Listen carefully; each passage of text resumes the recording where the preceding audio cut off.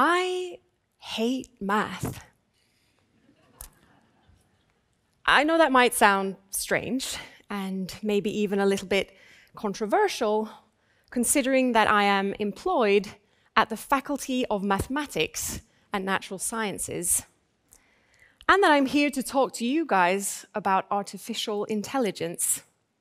But it's true. I am horrible at math. Yet I have found a way of dealing with this, which is part of what I want to share with you all today. Now, I should perhaps specify I don't hate all math, I hate arithmetic. Addition, subtraction, multiplication, and division. Growing up, I spent countless hours crying in my mother's lap as she attempted to bribe and console me through my recitation of the multiplication tables. Instead, I was your typical artsy kid. I loved singing, painting, dancing, but I also loved science and logic puzzles. And I was curious about life and consciousness and how that all came about. Now, what I found was that more often than not, we tend to think of the world of art and the world of science as inherently separate, opposites even. And for a long time, I felt trapped in the middle, with my math homework standing like a gatekeeper, making sure that I would never be able to achieve my goal of working somewhere in this cross section between art and science.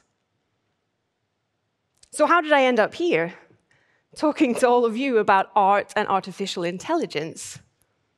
Well, I learned how to code. Computers, unlike me, are really good at arithmetic. In fact, they really only deal in numbers. Numbers are their whole world.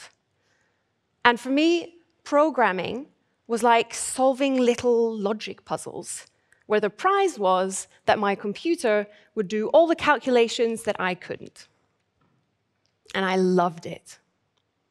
Finally, I had an accomplice, an aide, a friend, even, that would do for me the tasks that I'm not good at and allow me to focus on the questions that I was really interested in.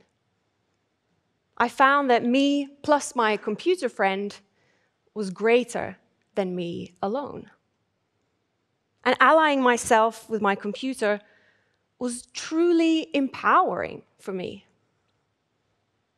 It has been what has enabled me to work in this fascinating space between art and science. I was able to begin an academic career in computer science working with computational creativity. And now I get to work on all these really, really interesting questions. Like, can I teach my computer friend to be creative? What kind of computational mechanisms would even support that kind of behavior? Can it learn these tasks where there isn't a single correct answer or a goal state to reach. These tasks that are inherently subjective. For example, can I teach my computer to dance? Here I've shown my computer a bunch of examples of dancers improvising in these beautiful motion capture suits which are fixed with reflective markers. Now, as I said, my computer only deals in numbers, so it doesn't get to see these beautiful polyester suits. All it sees are these giant matrices.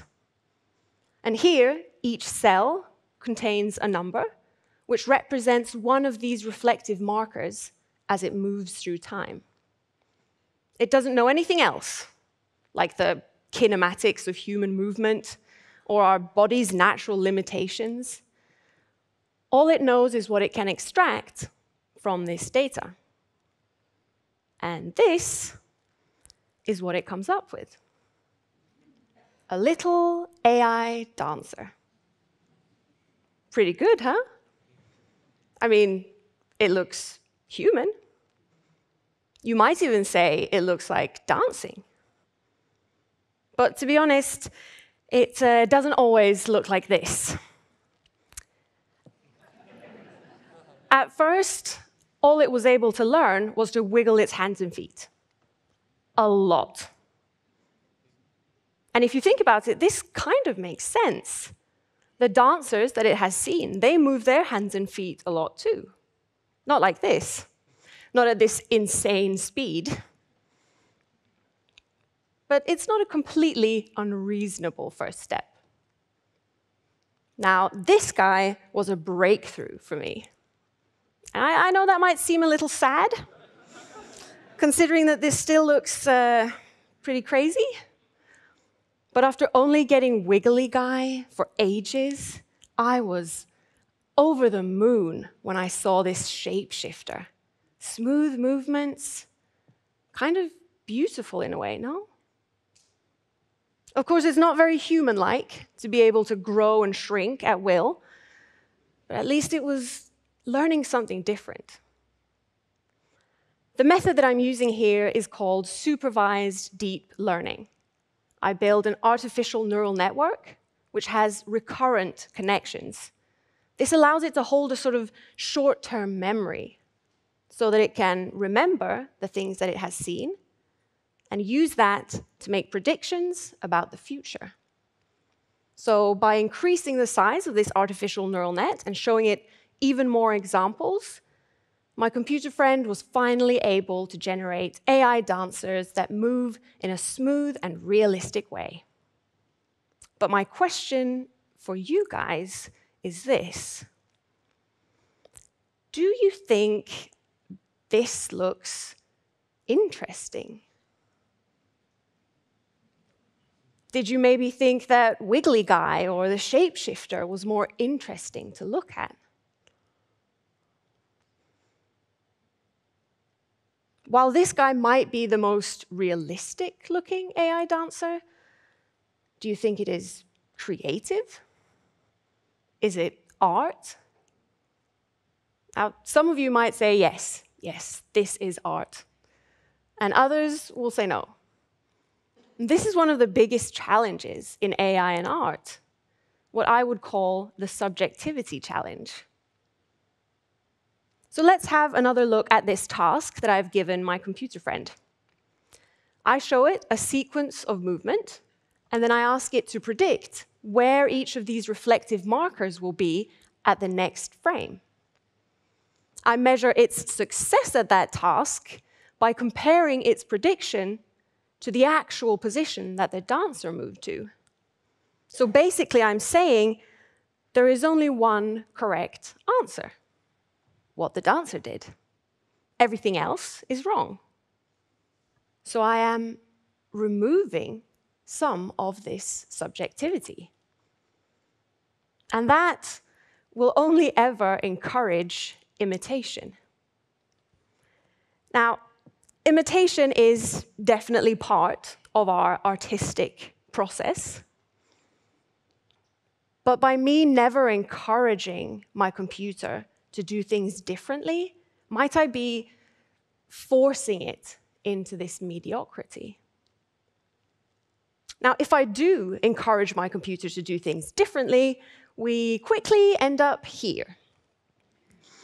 And yes, it's definitely different. I would say it is uh, chaos.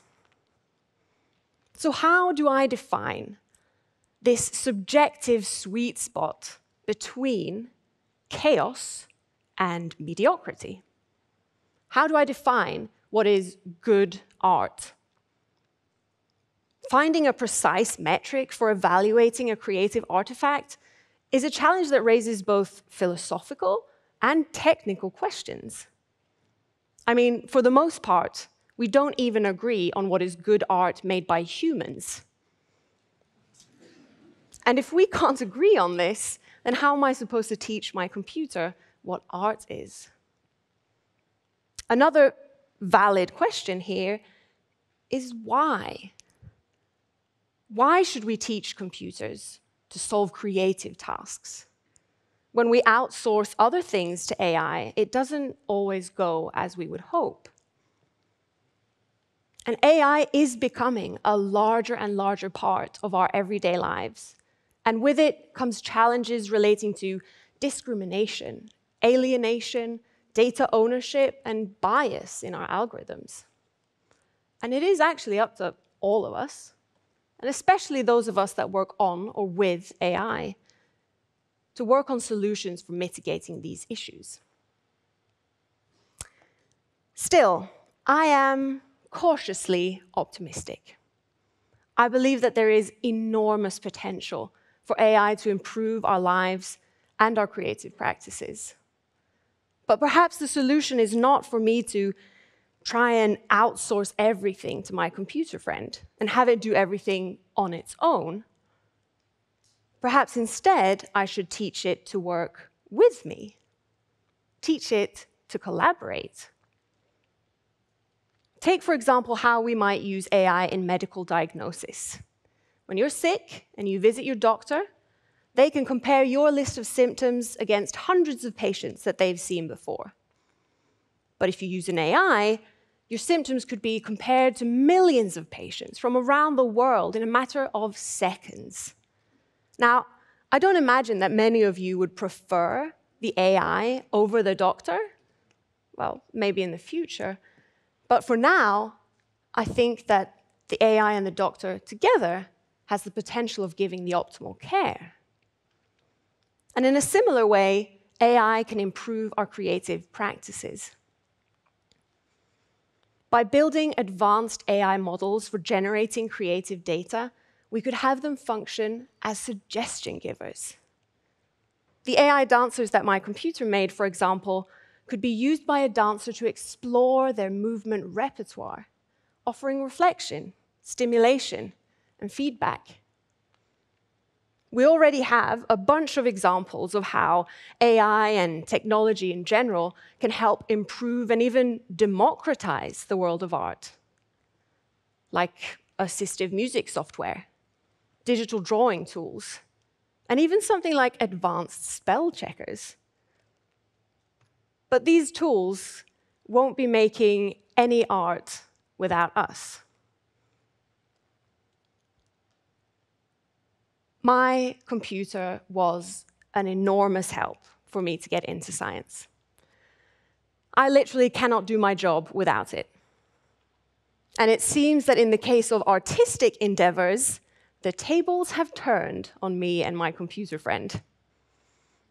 Here, it might never be able to do its job properly without me. But I guess my point is does that really matter? Perhaps the solution to the subjectivity challenge lies in this collaboration, in what we can achieve together. Now, I warned you, arithmetic is not my strong suit. But I think that in this case, 1 plus 1 is equal to 3. Because together, my computer friend and I are greater than the sum of our parts. Thank you.